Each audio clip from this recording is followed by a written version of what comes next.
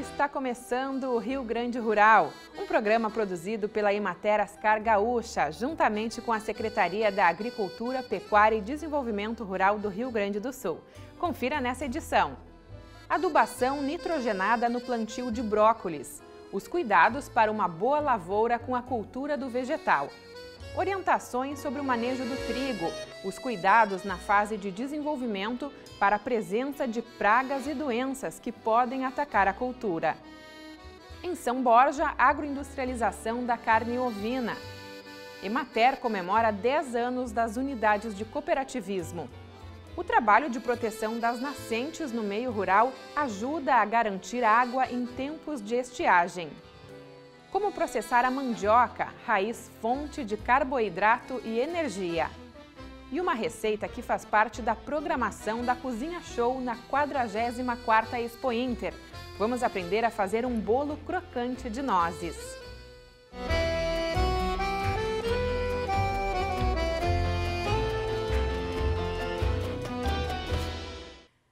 Dica técnica de hoje é sobre adubação nitrogenada no plantio de brócolis. Quem fala sobre os cuidados para termos uma boa lavoura com a cultura é o extensionista da Emater, Alberto Pinheiro, que atua na Emater, no município de Vera Cruz. A adubação nitrogenada no brócolis, ela, a recomendação é que ela seja feita em etapas. É, dentro do, da recomendação geral, que se fala é uma aplicação em torno de 20 kg de nitrogênio por hectare já na base do plantio. E preferencialmente sendo de uma fonte orgânica, seja de cama de aviário, uh, esterco, alguma fonte uh, orgânica que vai se decompondo aos poucos e liberando uh, essa, esse, esse composto, esse nutriente durante o, as primeiras duas semanas de plantio. A segunda aplicação de nitrogênio, e aí ela é dada mais em questão de percentual, ah, esse percentual, vale lembrar que ele é estabelecido de acordo com a, a recomendação de adubação, que por sua vez ela é feita sobre a, o percentual de matéria orgânica presente no solo. Essa recomendação ela é dividida em três etapas de aplicação em cobertura. A primeira delas 15 dias após o plantio, que, na qual é recomendada uma aplicação de aproximadamente 20% do total recomendado em cobertura. A segunda aplicação é, de aproximadamente 40% do total que é recomendado para ser aplicado em cobertura. E a terceira aplicação seria mais ou menos no estágio que está essa lavoura, que é o início do, da formação do, da inflorescência. Então, se puder mostrar aqui, ó, esse aqui é o início do botão floral. Ó. Lá, quando a gente abre, ele está começando a aparecer, ó. A gente já percebe o início ali, ó, dos floretes aparecendo. Esse é o ponto da terceira adubação em cobertura com nitrogênio e que deve ser feito ali aproximadamente 40% do total recomendado. Cabe ressaltar que essa é uma, uma recomendação é, aproximada e que alguns outros fatores podem ser observados. Por exemplo, se a lavoura já está num, numa condição de um aspecto verde bem escuro, é, que represente uma quantidade mais que o suficiente de nitrogênio, essa recomendação pode ser um pouquinho reduzida, não tem problema, mas que uh, seja atentado para esses parâmetros.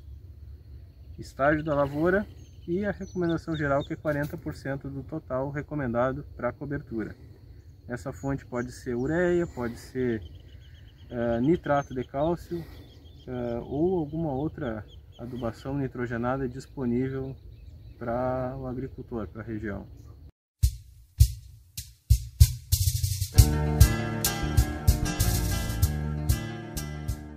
O trigo é uma cultura que vem retomando sua força no estado.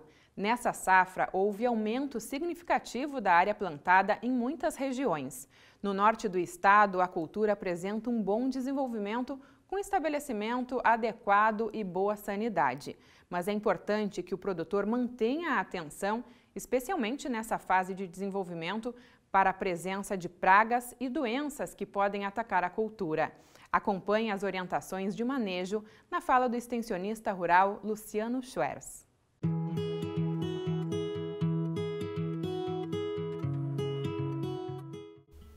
As lavouras de trigo da nossa região estão apresentando uma boa condição de desenvolvimento, com bom potencial, bom estabelecimento, boa sanidade. E nesse momento nós nos aproximamos da fase reprodutiva da lavoura, ou seja, o momento em que iniciamos o processo de emissão das espigas. E a partir de agora, precisamos redobrar o cuidado com o complexo de doenças que está relacionado com a espiga, falando em giberela e brusone, e também as doenças que acometem a folha bandeira. Em especial a giberela, nesse momento, nós temos que ficar atentos à presença de umidade, de chuvas. Períodos né, prolongados de chuva fazem com que haja a presença da doença, a infecção, principalmente nesse momento onde nós temos a plena floração, momento em que nós temos a exposição da planta e que é possível então o fungo acabar atingindo, penetrando é, na espiga e promovendo a giberela que vai depois desencadear um processo relacionado com a presença de micotoxinas. A giberela tem potencial para comprometer bastante a produtividade e é importante manter atenção. Fazer a aplicação de triazóis nesse momento, quando nós temos 50% das plantas em floração, é essencial para que a gente possa fazer o manejo. E ficar atento às condições de clima. Se tiver previsão de chuva, de períodos prolongados, um dia, dois dias de chuva, é recomendado a aplicação antes da chuva do triazol que ainda pode estar associado com outros produtos. Também, nesse momento, é importante o monitoramento da presença de pragas, como é o caso do pulgão, que pode estar atacando a cultura. Em havendo a presença do pulgão, precisamos avaliar qual é o nível dessa presença e fazer então a recomendação do posicionamento de inseticidas. Para essas informações e mais orientações quanto ao manejo da cultura do trigo, procure os nossos escritórios municipais de Emater que estão à disposição para lhe proporcionar um bom atendimento e a orientação para a melhor tomada de decisão.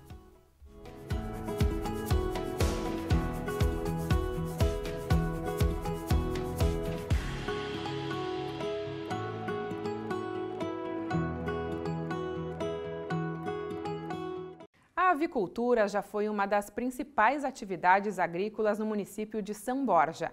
Entre as dificuldades que têm levado à redução do rebanho é a comercialização.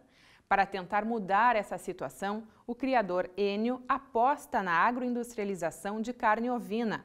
Vamos conhecer essa experiência.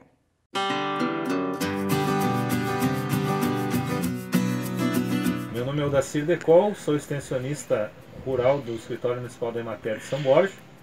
Estamos na propriedade da família da Laporta, fica na localidade de São Bento, interior do município de São Borja, é, na região fronteira oeste do Rio Grande do Sul. Estaremos apresentando a experiência da família com a ovinocultura é, associado à agroindústria familiar. Dá para destacar que a ovinocultura foi uma das principais atividades em termos de pecuária no município e veio perdendo espaço ao longo dos anos. Só para vocês terem uma ideia, 1980 o rebanho de ovinos no município era de 181 mil cabeças, sendo o rebanho atual de apenas 40 mil. É, hoje são 447 produtores na atividade, sendo que 81% desses produtores têm até 100 animais. Então, podemos dizer que hoje, para a grande maioria dos produtores, a ovinocultura se restringe à produção para o consumo familiar. Predomina então as raças para carne e suas, suas cruzes, e o principal relato dos produtores em termos de dificuldade é a questão da comercialização.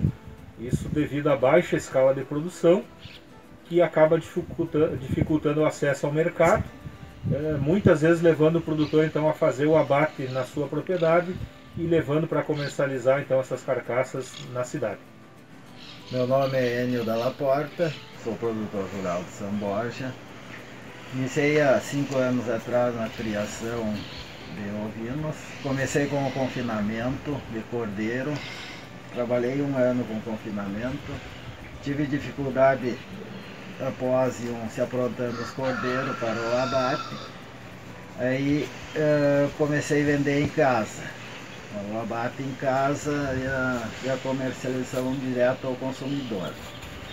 Meu rebanho é em torno de 200 ovelhas, raça de carne, criados a, hoje criados a pasto.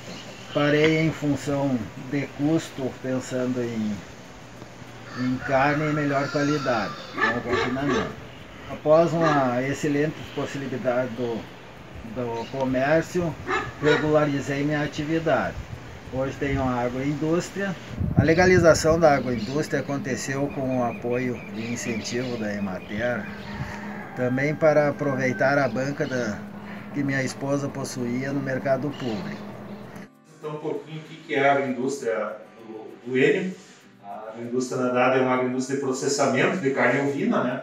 É, 24 metros quadrados é o tamanho da agroindústria, composta por duas salas, uma sala de recepção, onde tem uma pequena câmara fria, onde ficam é, armazenadas as carcaças assim que chegam, e mais uma sala de processamento, embalagem e, e expedição. Então a agroindústria, a, a, família hoje terceiriza o abate, né?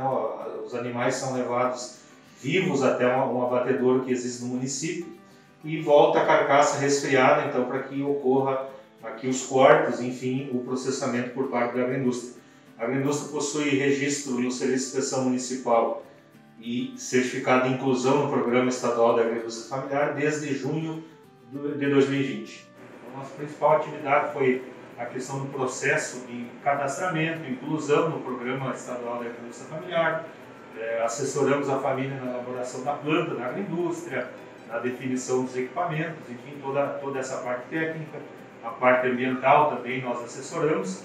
Uh, também uh, a família foi beneficiada com recursos do FEAPER para aquisição de equipamentos, então nós fizemos todo o processo de elaboração do projeto, junto com eles a, definição de quais equipamentos seriam mais adequados e também a colaboração da instituição foi no sentido da capacitação. Então ele fez no centro de treinamento da Emater o curso de boas práticas e localmente aqui nós trouxemos até eles a capacitação em cortes em processamento de carne ovina. Eu faço, faço corte de vários tipos de, de, de cortes, é, carné, picanha, é, coroa, eu tenho charque, a linguiça, tudo, tudo a gente faz aqui. Eu tenho uma que eu tenho a, a, a segurança que eu não vou eu não vou ser preso, né? vou ser fiscalizado, mas não vou ser, não vou ser preso porque eu estou legal, é tudo dentro da, da legalidade. Eu tenho mais espaço para trabalhar e mais tranquilidade. No mercado público lá eu tenho, tenho um açougue lá. E por encomenda, quem quiser aqui em casa vem também sempre tem carne. Então a venda é as encomendas bastante. Tu trabalha só com carne resfriada, né? É, é só carne resfriada.